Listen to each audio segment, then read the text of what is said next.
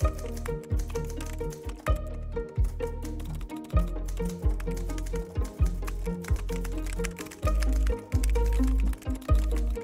landerigheid van de achterbank Ja. op zondag. Ja. Nee, wat ik ook lekker vind is dat bubbeltjes. Dat primaire gevoel, die, die, dingen wil je allemaal kapot knijpen, toch? Iedereen kent dat gevoel van Ja. überhaupt ook dat ik zo doe en dat je dan zo in de auto zit en dan zo gaat, zo, gaat zo knijpen. En En door dat massavernietigingswapen, door dat ook zo te noemen, denk je meteen wel, er staat wel iets op het Ja. spel. Dat vind ik eigenlijk heel geestig. Ik heb een massavernietigingswapen. Ja, dat vind ik Het is een soort videogame live, zeg maar. goed. Eens.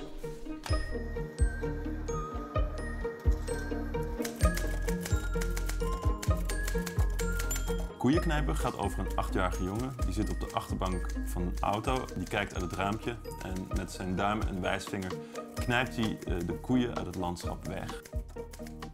Korte verhalen, als ik ze lees, dan raak ik heel erg geïnspireerd. En dan wil ik ook graag zelf maken.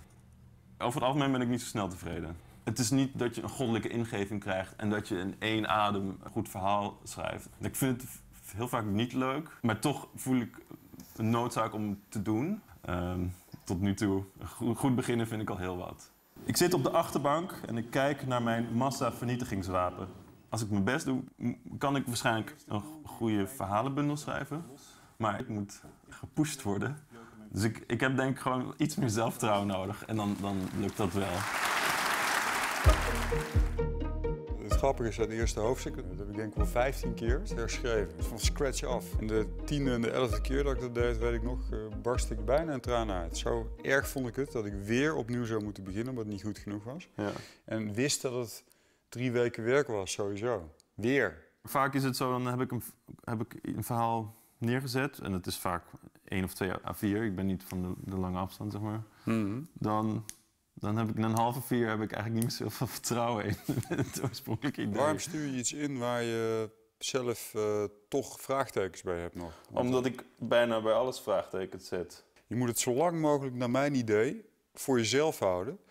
Tot je, zelfs na 100 dagen dat je het eh, al af hebt, nog steeds denkt van het is goed. Ja.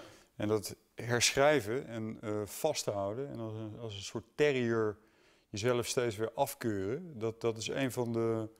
Ja, misschien is dat wel iets wat elke schrijver moet kunnen. Er zijn er dan vrienden a- of mensen aan wie ik het heb laten lezen... die zeiden van nee, dat, dat is, helemaal, dat is onzin.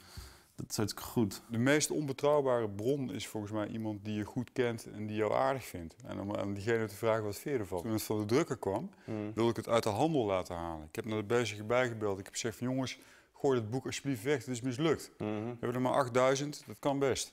Ik betaal. Echt waar. Ja. Zei ze, nee Peter, ik denk dat het wel meevalt. Ja. Maar de tendens is, en dat komt misschien ook wel door Twitter en door Facebook en door de, de laagdrempeligheid van, eh, van publiceren in eigen beheer tegenwoordig, Ja, ja, ja. dat mensen veel te snel denken van, nou laat ik het eens proberen. De print on demand. Ja, in, in Engeland noemen ze dat de vanity press.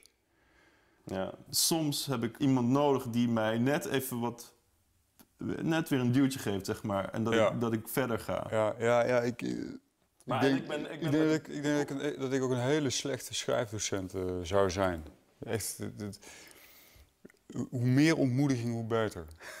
Ja, echt. Ja, voor mij zou zelf zou een goede schrijfdocent een soort eh dreverhaven zijn. Het karakter van eh Bordewijk. Iemand die je zo hard mogelijk naar beneden schopt en ontmoedigt. En als op die basis, hè, dus het op het decimeren van al je ambities, toch nog iets omhoog komt, dat zou best eens goed kunnen worden. Da- ja, dan... Maar dat geknuffel van tegenwoordig, en het aanmoedigen en dat schrijfcursusjes inrichten, dat is allemaal eh, eh, zachte heelmeesters maken stinkende wonden. En stinkende wonden eindigen bij de slechte. En daar word je alleen maar verdrietig van. Dat ik de komende tien jaar niks van me laat lezen... tenzij ik uiteindelijk een werk je moet je nooit meer laten filmen voor het af is. Dat ook. Nooit meer. Dat is het beste. Dus de, de volgende keer dat ik je zie, is tijdens het, eh, nou, wat zullen we zeggen, een shortlist diner van de Librisprijs. Als de eerste keer, hey, denk ik, hey, die jongen die heb ik tien jaar geleden voor het eerst gezien. Er is maar één manier om schrijven niet te leren en dat is het om van een ander Hmm. te horen hoe het moet. Dus daar zit eigenlijk de, daar loopt als- alsof je een stop uit het bad trekt, daar loopt het hele schrijfonderwijs een soort steeds sneller wordende kolk in weg.